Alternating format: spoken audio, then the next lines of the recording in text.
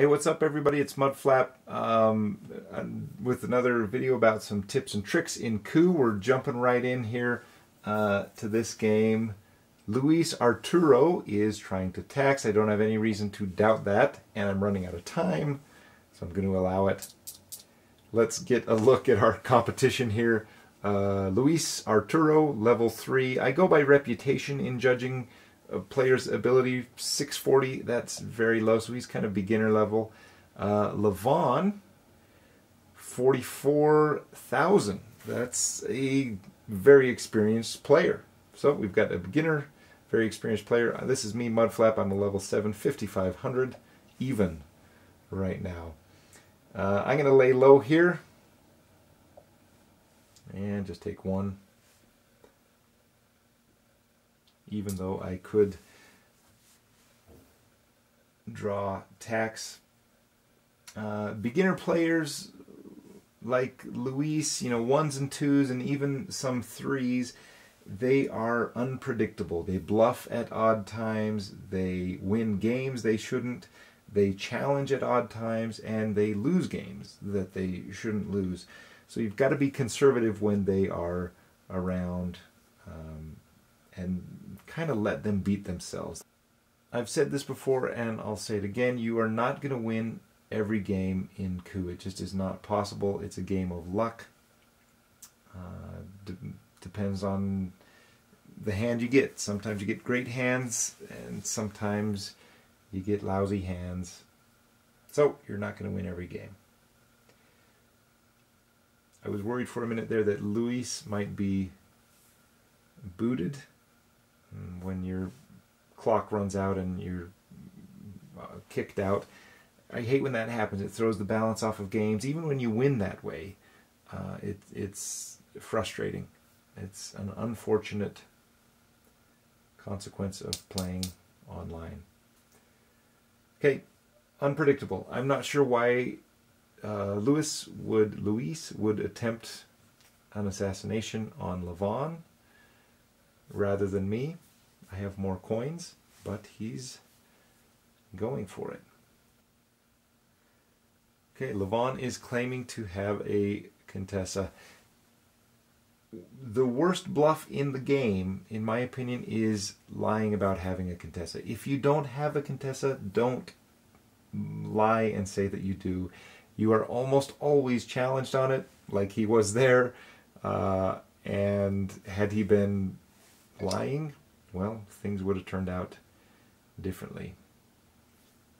Okay, now I've got to shift gears a little bit from being passive to being a little more aggressive. So I'm going to use my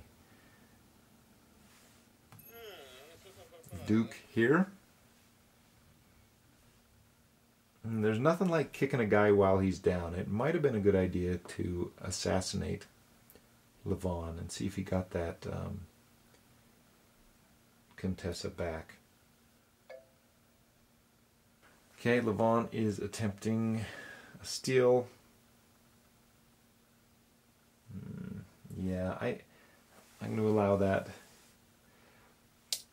My favorite pair of cards is a captain and a Contessa. It's a great defensive hand, and it also, through the captain, allows you to be a little aggressive at times.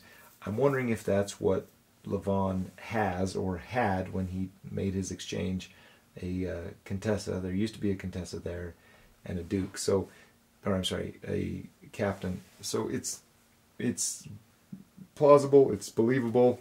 It's possible. I'm gonna let him run with it, and we will see what happens here. Let's see what our friend Luis Arturo does. Okay, he's he's stealing from me. All right. When it rains, it pours. Yep, yep, yep. I'm gonna tax. Uh, the reason I'm doing that is I'm thinking Levon's going to steal from me again, and Luis is also. So I'm giving money to Levon, but I'm also feeding Luis, and Luis right now is going to want to get revenge on Levon, which is all right with me. It's always a good thing when you can let other players do your work for you. What does that mean? Well, if they're killing somebody other than you, that's a good thing.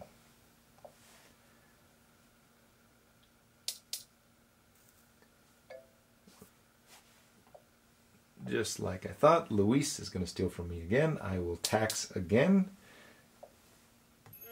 Give him the money he needs. I'll be up to four. Levon will steal from me. Luis will steal from me. He'll come back to me again. I will tax. Levon will kill Luis before Luis can kill Levon. Again with the steal.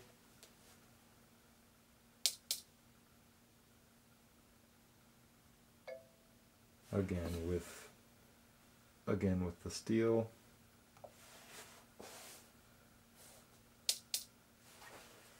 I'll tax again.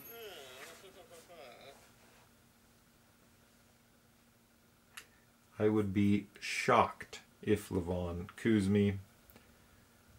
Thinking he's going to go after Luis. Because Luis is almost certainly going to want to. Yeah. Okay, now's my chance. When a game's down to four cards, it's kind of a critical critical juncture, critical times. Also, obviously, critical because we're down to two. But um, there's a lot of patterns in this game, and one of them is this four card pattern. You've got to be on this turn. You you've got to get it right. You've got to do the right thing, and I'm trying to think what that is in this instance.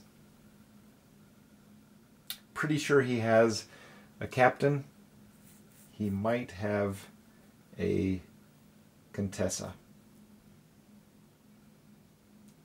If I tax, I get up to six. Uh, he steals from me. He's at three. I'm at four. I, you're only you gain one and they gain two every time. So I would be at four. He'd be at three.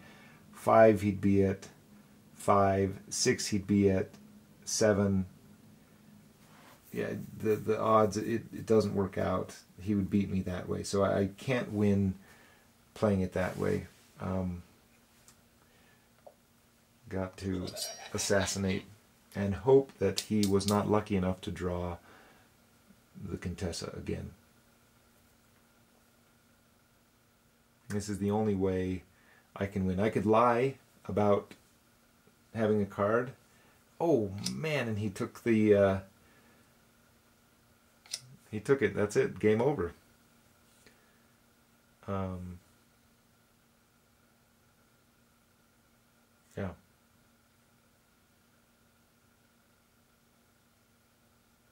This is the, the worst bluff in the game, the lamest bluff in the game. I have never, ever seen anybody. Actually, I saw it once and it just blew me away. Uh, challenge the assassin and then block with the Contessa and actually have the Contessa. Uh, in fact, I kind of want to see what he did there. He just, I think he just resigned, or he accepted, he accepted the assassination. Yeah. So, there you go. Thank you for watching. Uh, every game plays differently. That was kind of a wild ending there. There's an element of luck. Um, the best you can do is know when to kind of take that gamble with luck, to accept that luck. And in this case, I decided, you know, when, when we were down to those four cards, that that was my best option, is to put my fate in the hands of luck. Worked out this time. Yeah, was a good thing. Thank you for watching. Hope you enjoyed it. Please like, comment, and uh, share and subscribe for more great videos just like this one. I look forward to playing you in Coup. Friend me, and let's make it happen. Good luck out there. Thank you for watching.